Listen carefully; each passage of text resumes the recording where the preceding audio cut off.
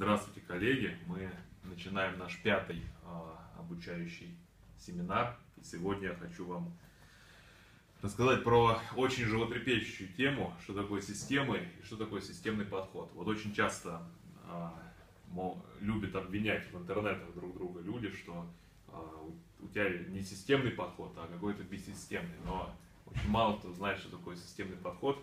Так уже используют как устоявшееся выражение. А мы, как системные аналитики, давайте изучим, что такое система, что такое системный подход. И начнем мы, как обычно, с а, того, что мы сегодня изучим. Вот у нас пять тем. Мы изучим системы и их свойства. А, кратенько расскажу про историю развития наук о системах. А, более-менее детально расскажу, что такое системный подход, какие методики системного анализа существуют и что в принципе такое системный анализ и немножко расскажу про инструментарий. Буквально очень-очень кратко, потому что вот в этих вот а, темах, трех последних темах, которые мы сегодня а, рассмотрим, я а, как бы заострю, не, заострю даже внимание, а покажу то, что мы будем делать а, в следующих занятиях, на следующих занятиях, те темы, которые мы будем изучать на следующих занятиях. Вот, я опять картинку такую красивую нарисовал для вас, чтобы вы смотрели. Так, что такое система? Вот, а, Никита, ты мне скажи, что такое система? Не смотри сюда, вот, на твой взгляд. Система. Ну вот все говорят, система, система там. Катерина, система что такое? Совокупность взаимосвязанных компонентов.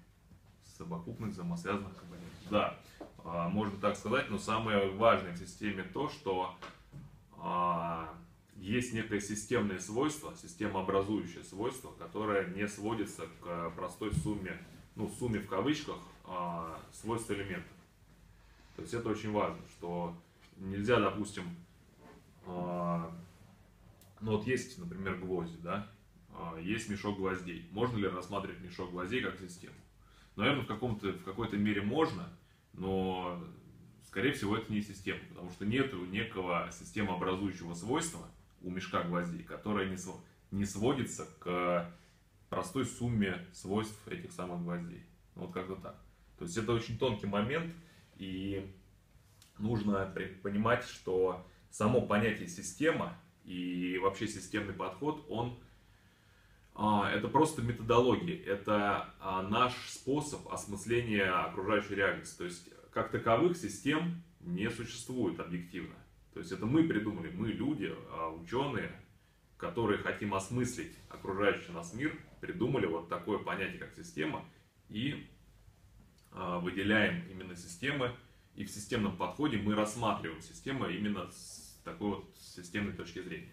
То есть как таковых, если бы человека не было, вот был бы такой мир ненаселенный а, мыслящими существами, там, наверное, ну, систем, наверное, и нету.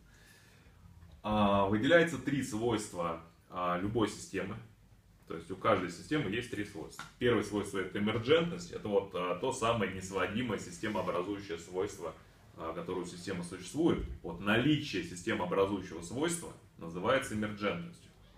От английского слова merge, то есть возникать. То есть возникает некое эмерджентное свойство, которое системообразующее для системы. А, второе свойство у, любой системы это целостность. Систему можно рассматривать только как а, полную взаимосвязь своих компонентов, а, и связи между компонентами важны. Вот целостность системы обозначает наличие вот этих связей. И их, самое главное, их ценность. Нельзя рассмотреть систему, не рассматривая связи в ней. И самое главное, что вокруг системы, вот Андрей что вокруг системы, вот как называется то, что вокруг системы. Есть вот система, а вокруг нее что? Ну, прочитай быстрее. Среда. Среда. Сейчас мы на следующем слайде увидим. То есть вот есть система, а есть среда вокруг нее. Так вот, ценность связи внутри среды, о, внутри системы, прошу прощения, а, выше, чем ценность связи между системой и средой. То есть в этом заключается свойство целостности. И третье свойство системы – это иерархичность. Что это значит? Что а, элементы системы сами по себе могут рассматриваться как системы, то есть являться подсистемой, подсистемами рассматриваемой системы. И сама система, возможно, является элементом какой-то более системы высокого уровня над системой. И в принципе вот это вот свойство иерархичности переводит что? А, что весь, вся вселенная вокруг нас это в общем-то система. Одна такая, одна большая глобальная система. Потом можно углубляться, углубляться, углубляться. Но это если рассматривать физические объекты. Естественно, системы могут быть э, любой природы, в том числе не физические. И давайте рассмотрим э, 7 терминов, сколько? 7, да, терминов, которые очень важны в э, системном подходе, вообще в системологии, теории систем. Ну, кроме самого термина система, которая центральной является для нас сегодня. Первый термин. Продолжайте. То есть Первый термин это среда. Среда это все то, что не входит в систему. Все, что эту систему окружает. Вот есть система, есть среда. Иногда говорят а, такие неправильные термины, как внешняя среда и внутренняя среда. Вот, например, это врачи любят говорить, внутренняя среда организма. Это, это безграмотный термин, среда, она всегда только внешняя.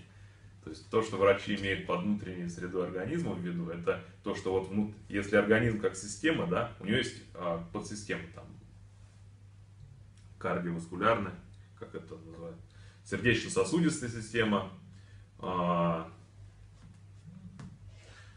там нервная система, еще какая-нибудь а, мочевыделительная, желудочно-кишечный тракт. И вот для вот этих вот подсистем всего организма как системы, внутренность организма является средой. Вот они это имеют в виду под внутренней средой организма. Но это термин безграмотный, я повторюсь, именно с точки зрения системы подхода. Второй термин – структура. Структура – это а, способ взаимосвязи между элементами. То есть вот а, вид, а, топология взаимосвязи, как это вот можно назвать. То есть как вот элементы друг с другом соединяются, это структура этой рассматриваемой системы. Состояние. Состояние системы – это, если рассматривать систему вот в какой-то момент времени, у нее есть состояние. Фактически состояние – это срез значений параметров, значимых параметров для системы с точки зрения вот того, как мы ее рассматриваем. То есть вот какой пример можно привести? Ну вот, если рассматривать, например, человека как систему, да, и изучать его именно его жизнедеятельность, а значимыми параметрами для изучения могут являться там, температура и артериальное давление. И, соответственно, состояние это фактически пара из температуры и артериального давления на текущий момент времени. Так, а, и надо, конечно, перевернуть вот эти два. Соответственно, элемент это основная, составная часть системы. Взаимодействие между элементами образует структуру системы. А процесс это динамическое изменение системы во времени, то есть переход из состояния в состояние. Соответственно, если вот у нас есть человек как система, у него два, два значения, температура тела и артериальное давление, то вот при изменении температуры тела как бы переходит, а, производится переход из одного состояния в другое. Это процесс. И а, два взаимосвязанных термина – это функции и предназначение. Соответственно, функции системы – это предназначение ее элементов, а предназначение системы – это функции системы в ее надсистеме. Понятно, Никита? Все понятно? А, синергетикой называется возникновение некоторых а, специального вида процессов диссипативных в системах а, химических реакций, которые изучал вот этот тот мужчина улыбающийся. Собственно, когда вы слышите про синергетику, то там любят менеджеры говорить в таких, вот, где вы сегодня были, если человек не знает, что это такое. Вот, дальше, да, тоже улыбающийся мужчина, по-моему, нет, уже умер тоже, а, изобрел теорию хаоса. Есть такая теория хаоса. А, именно вот этот человек сказал, что бабочка, взмахивающая крыльями где-то там в штате Аризона, вызывает через год ураган на индийском побережье. Ну, в общем, вот а, теория хаоса, она вышла из теории динамических систем и говорит о, о таких о вещах, как очень сильные изменения. А, в общем, достаточно узкоспециализированная вещь, теория хаоса, но она интересна тем, что рассматривает системы в их а, нелинейной динамики. То есть э, те, кто погружается в нее, становятся очень умными людьми. И вот еще один такой вот э, лысый профессор э, разработал, ну, не он один разработал, там была целая когорта ученых, теория катастроф. Она, э, в принципе, из теории динамических систем вышла и какие-то положения теории хаоса взяла. Э, эта теория катастроф рассматривает э, динамику систем в очень экстремальных условиях, когда происходит э, перелом состояния. То есть вот все, вот эти вот, э, ну, можно сказать, вот начиная с этого уровня, вот эти все, которые ниже, достаточно четкие математические науки, там гигантский математический аппарат под ними заложен. Вот, соответственно, а, я не называл никого из тех, кто здесь изображен. Кто-нибудь из вас мне хоть кого-нибудь можешь назвать? Наталья Сергеевна, ты кого-нибудь можешь, знаешь здесь из этих людей? Ну вот, вот наш человек, который стоял вообще в основе всех. Катерина. Итак, значит, это а, Берталанфе, Карл Людвиг фон Берталанфе. Он а, то ли биологом был, то ли врачом вообще. Вот разработал общую теорию систем на основе своих наблюдений. Потом уже положение общей теории систем больше на такую а, прикладную тему взяли. Вот этот Джон фон Нейман. Собственно, про архитектуру фон Неймана вы должны были все слышать. Вот это он ее разработал. А, вся вычислительная техника современная основана на архитектуре фон Неймана. Это Норберт Винер, а, отец, в кавычках, кибернетики. На самом деле, а, я не могу сказать, что он прям отец был кибернетики, там целый коллектив работал, но вот он написал книгу «Кибернетика» или «Управление связью животным и машине». И после этого все пошло кибернетика и кибернетика. Это Илья Романович Пригожин уехал из Советской России, осел в США, разработал там теорию динамических систем.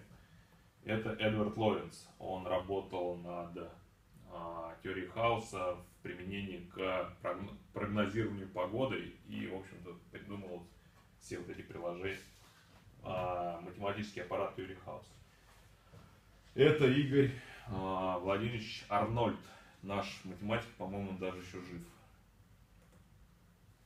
Итак, системный подход. Системный подход – это один из вариантов методологии научного познания. Вот есть вот э, научная система мира, которой мы, я надеюсь, все принадлежим.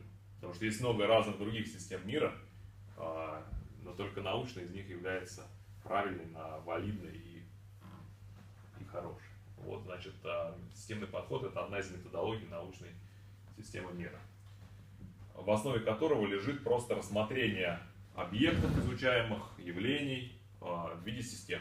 Что такое система, мы изучили. И, собственно, есть а, выделено 8 столпов системного подхода. В рамках системного подхода мы изучаем компоненты системы, то есть набор элементов, ее структуру, то есть взаимосвязь и как эта взаимосвязь выглядит, топология связи, функции системы, предназначение системы ее цели. Причем цели рассматриваются, вот есть общая глобальная цель системы – и можно дерево целей по цели а, расписать, понять. А, пятый столб – это ресурсы, которые требуются для а, работы системы. Шестой столб – источник эмерджентности, то есть то самое системно образующее свойство или свойства, а, которые именно делают систему системой. Седьмой столб – это взаимодействие со средой, то есть вот а, мы систему рассмотрели, выходим более а, вовне и смотрим, как она со средой взаимодействует, со смежными системами, с, с надсистемой и так далее. И последний восьмой столб это изучение системы в историческом аспекте, то есть вот э, как она развивалась в динамике э, и как будет развиваться в будущем. И для того, чтобы системный подход исповедовать и применять, используется системный анализ. То есть это уже конкретный метод научного познания который мы применяем, когда изучаем какое-то явление, объект или так далее. Соответственно, он заключается в восстановлении структуры, взаимосвязи между элементами системы, описании ее целей, функций и так далее. Вот все то, что я, сказал на предыдущем слайде. И, собственно, вот здесь вот я 10 пунктов расписал. Это то, что а, делается обычно, когда готовится какое-то решение. То есть задача системного анализа является подготовка некого решения. То есть вот, решение в таком в, в очень общем смысле понимания этого слова. есть некий объект или некоторая ситуация, некоторое явление, относительно него нужно подготовить решение для того, чтобы это решение принять. Вот, собственно, алгоритм принятия решений а, из 10 пунктов он есть. И а, в рамках инструментария, в рамках инструментария мы а, вот эти 10, 10 пунктов, они конкретизируются. И мы, собственно, рассмотрим некоторые методики а, в будущем, на, на будущих занятиях. Это вот а, я выделил 5 методик, Опнера, Квейда, Янга, Голубкова и Черняка. А, ну, мы рассмотрим, скорее всего, одну или максимум две. Скорее всего, рассмотрим самую такую мощную методику Опнера.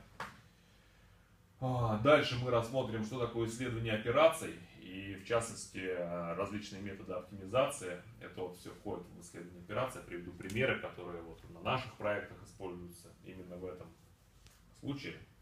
В целом, исследование операций это что? Когда у нас есть стандартная, стабильная ситуация с полной информацией. То есть вот есть некая система, о которой можно изучить все.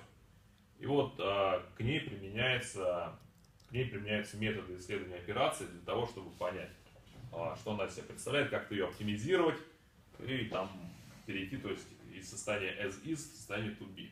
Это мы тоже рассмотрим. И мы рассмотрим некоторые нотации. А, в частности, я вот выделил 4, 3 а, на самом деле. Это Unified Modeling Language, UML. Очень-очень кратко, я потом каждому скажу, что изучать, куда почитать потому что сам UML можно изучать там годами и не выучить, но в рамках одного занятия можно а, магистральные пути расписать, вот как, на какие диаграммы обратить внимание, на какие методики в рамках UML. А, методологию структурного анализа с нотациями EDF0 и EDF3 изучим, и а, мы изучим нотацию BPMN, то есть Process Modeling Model Notation. Это самая такая общая стандартизированная нотация для описания бизнес-процессов, то есть по нашему технологических операций. Собственно, это все нам предстоит. Я надеюсь, до конца года мы все это изучим. На этом все. Спасибо за внимание. Вопросы? Максим. Катерина. Примеры источников эмерджентности. Примеры источников эмерджентности. Вот возьмем стул как систему. Стул состоит из элементов. Ножки, сиденье, спинка ни один из этих элементов не может э, полноценно, ну, вычеркнем слово полноценно, просто не может э, предоставлять пользователю функцию сидения на нем. А когда мы его соединяем в систему под названием стул, появляется свойство, эмерджентное свойство, возможность сидеть на нем. Вот пример. Угу. Понятно? Угу. Компьютер, система. Каждый элемент по отдельности э, не предоставляет пользователю возможность работать на нем как это, даже если взять процессор, который в принципе исполняет, вот, э, является а, универсальной машиной Тьюринга, но без обвязки, без периферийных устройств, он сам по себе пользователю не, не годится. То есть с ними невозможно взаимодействовать. То есть нужна клавиатура, нужна мышь, нужен дисплей. Когда мы все это соединяем в систему, появляется свойство возможности работать с пользователем. Гуд? Подумай. Гуд, меня смутило просто слово источник источник эмерджентности, но это я так назвал, на самом деле это вот то самое свойство, которое вот нужно найти. Вот откуда системность берется. А, солнечная система, где источник эмерджентности? В чем? То есть, что в Солнечной системе есть такого, чего нет у каждого ее элемента? То есть Солнце, планет, Лун. Подумайте на досуге. Притяжение планеты, это что они там?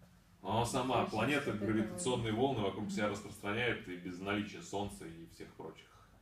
А гравита гравитация, они друг с другом взаимодействуют. Ну, можно еще придумать, там Солнце испускает солнечный ветер, лучи какие-нибудь излучения. Тоже взаимодействие. В общем, подумайте вот над этим. Источник эмерджентности в Солнечной системе. Очень для разминки мозгов интересная задача. Все? Никита, у тебя наверняка есть вопрос. Нет вопросов. Андрей. Наталья. Все? Все, всем спасибо.